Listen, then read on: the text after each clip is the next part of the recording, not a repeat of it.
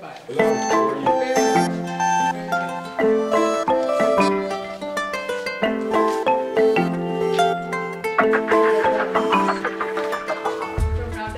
gonna get going with some of the school, uh, sister school program uh, things. Uh, again, training the kids on on the computer and training Solomon actually a lot more on uh, how to charge and and take in and out of the bag the computer.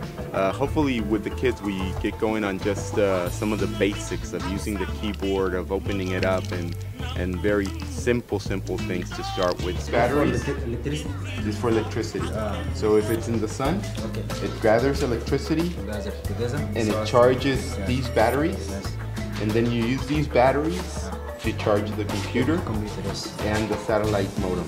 This one. So